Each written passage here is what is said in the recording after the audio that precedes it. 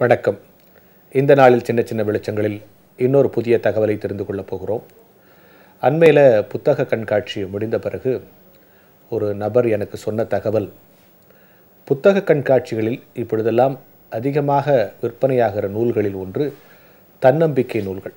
நம்முடைய தன்னம்பிக்கையை வளர்த்து கொள்வதை பற்றி மிகப்பெரிய அளவிலே நூல்கள் விற்பனையாகிறது. அதுக்கு என்ன காரணம்னா நாளுக்கு நாள் மனிதர்களிடத்தில் நம்பிக்கை குறைந்து வருகிறது. அதிலும் குறிப்பாக தன்னம்பிக்கை குறைந்து வருகிறது. தங்களை பற்றிய அனுமானத்தை அவர்கள் மிகவும் கீழ்நோக்கி போய்விடுகிறார்கள். என்னால் இது முடியுமா? அது நடக்குமா? நான் இதை செய்ய முடியுமா? நான் அதுக்கு தகுதியான ஆளா?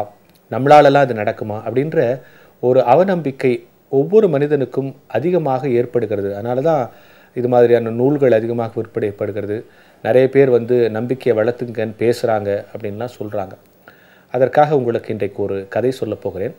அந்த கதைக்கு முன்னால் நான் ஒரு ஸ்டேட்மெண்ட் சொல்கிறேன் அது சரியான்னு பாருங்கள் நம்பிக்கை இருந்தால் ஆடு கூட சிங்கத்தை ஜெயிக்கலாம். என்ன சார் இப்படி? ஆடு போய் எப்படி சார் சிங்கத்தை ஜெயிக்க முடியும்? சிங்கம் எவ்வளோ பெரிய மிருகம்? ஆடு போய் ஜெயிக்க முடியுமா? ஆனால் நம்பிக்கை இருந்தால் அதுவும் முடியும் அப்படிங்கிறதுக்கு உங்களுக்கு இன்றைக்கி ஒரு கதை சொல்ல போகிறேன் ஒரு சிங்கத்தினுடைய குகையில் அந்த சிங்கம் வெளியே வேட்டைக்கு போயிருந்த சமயம் ஒரு ஆடு அப்படியே வந்து தெரியாமல் அந்த குகைக்குள்ளே வந்துருச்சு. அங்கேயே படுத்து தூங்கிருச்சு. ரொம்ப நேரம் ஆச்சு. எழுந்திரிச்சு வெளியே போகலான்னு நேரத்தில் அந்த சிங்கம் திரும்பி குகைக்கு வருது. ஆடு பார்த்துச்சு. அடடா தெரியாமல் சிங்கத்தினுடைய குகையில் வந்து நம்ம தூங்கிட்டோம். இப்போ வேட்டைக்கு போன சிங்கம் திரும்பி வருது.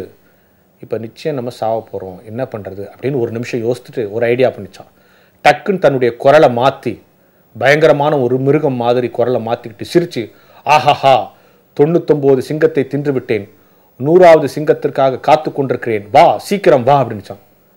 சிங்கம் அவ்வளோதான் அடடா நம்ம வெளியே போயிருந்த நேரத்தில் நம்ம குகைக்குள்ளே நம்மளை விட ஒரு மோசமான மிருகம் உள்ளே போயிடுச்சு போல் இருக்கு. இதுகிட்ட மாட்டக்கூடாதுன்னு திரும்பி ஓடிச்சான். வழியில் நரி பார்த்துச்சான்.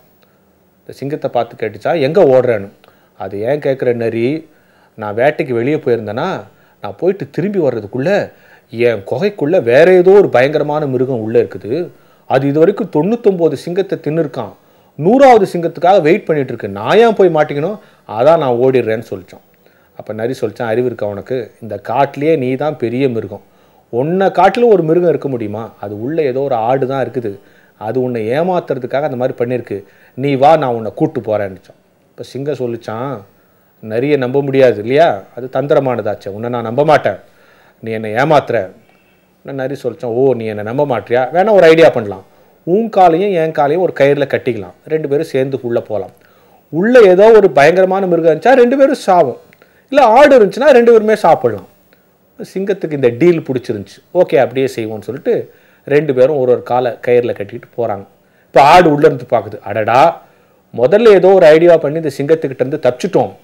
இப்போ இந்த நரி திருப்பி கூட்டுட்டு வருது இப்போ என்ன பண்ணுறது சரி எப்படியோ நம்ம சாவ போகிறோம் ஒன்று சிங்கம் தின்ன போது இல்லை நரி தின்ன போது இன்னொரு முயற்சி பண்ணி பார்க்கலாம்னு சொல்லிட்டு இப்போ என்ன பண்ணிச்சான்? திருப்பி குரலை மாற்றி நன்றி நரியாரே என் நண்பர் நரியாரே நன்றி.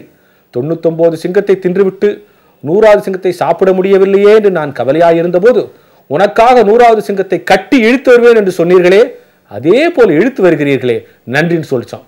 அவ்வளோதான் சிங்கம். ஓஹோ நரியே என்னை ஏமாத்திரத்தான் கூட்டு வந்தேன் தர தர தரன்னு ஓட ஆரம்பித்தான் இந்த நரி அதுக்கிட்ட மாட்டிக்கிட்டு தரையில் தேஞ்சி இதுவும் செத்து போச்சான்.